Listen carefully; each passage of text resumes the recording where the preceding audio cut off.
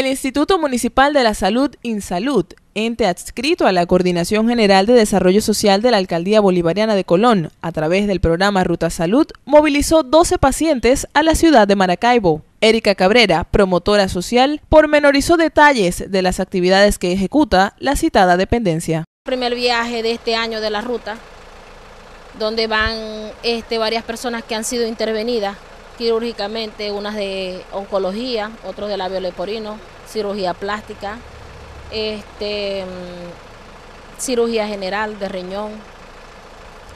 En este momento pues vamos saliendo a la ciudad de Maracaibo a que estas personas, mm, las que van pues obtengan una respuesta. Todo esto es gracias a la alcaldesa María Malpica.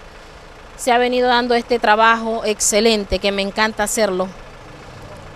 Eh, pues en estos momentos vamos, como te dije, vamos saliendo y, esperando pues que todos tengan allá una respuesta. Van cinco niños que van a ser tratados para el implante cloquear. Bueno, gracias al trabajo que estamos haciendo en Maracaibo se consiguió esto. Eh, cuesta un mundo hacerle un implante cloquear a un niño y pues Gracias a la revolución hemos conseguido hacerle estos implantes en, el hospital Coromoto. En este momento llevamos cinco niños, cinco pacientes, cinco niños, cinco niños y su acompañante, y van siete adultos que fueron intervenidos a finales del año pasado, eh, a mitad más o menos de diciembre, y van ahorita a su consulta postoperatoria.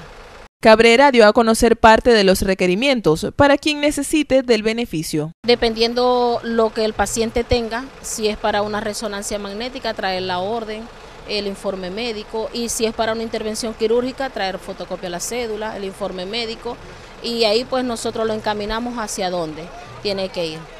Para el Sistema Colonés de Medios Públicos, Ana Esther Paz.